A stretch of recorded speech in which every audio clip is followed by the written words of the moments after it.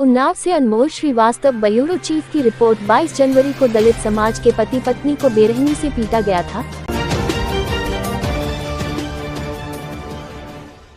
जिसमें बीती रात पिता की दर्दनाक मौत हो गई। शिकायती पत्र देने के बाद पुलिस ने नहीं दर्ज की एफआईआर।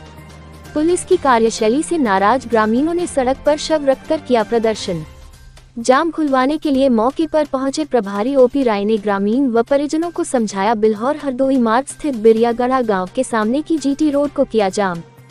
सूचना पर भारी पुलिस बल पहुँचा मौके पर कोतवाली प्रभारी ओपी राय परिजनों को समझाने में जुटे। बानगरमऊ कोतवाली क्षेत्र के नन्नूपुरवा गाँव की घटना। हुआ क्या है? पूरी कहानी बताओ। सर हर रोज गाली दे के निकलते थे और हमने बोला तो उन्होंने उस दिन पिए हुए थे खूब। तो वहाँ के मेरे को मारने के चक्कर में पापा को मार दिया वो पूरी तैयारी से आए थे। कौन आया था यार? वो प्रदीप और उनके लड़के लड़के। तो कहाँ रहते हैं? एप्लीकेशन दी कोतवाली में। हाँ जी दी थी। क्या हुआ? क्या बताए सर कोई कोई सुनवाई नहीं।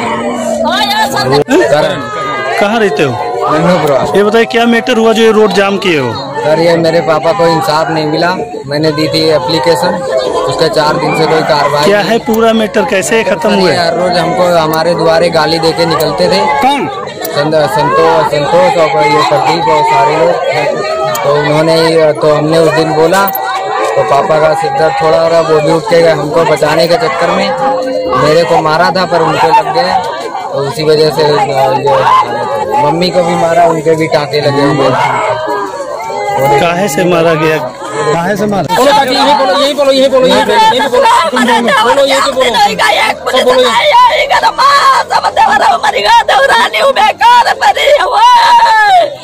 कोई नहीं हवा दुआरे। फेंकनी रे सब ऐसे उछड़ी उछड़ी मारी गौडारी धीरे सुनो। तुम्हारी कार्रवाई ना हो तुम्हारी थाना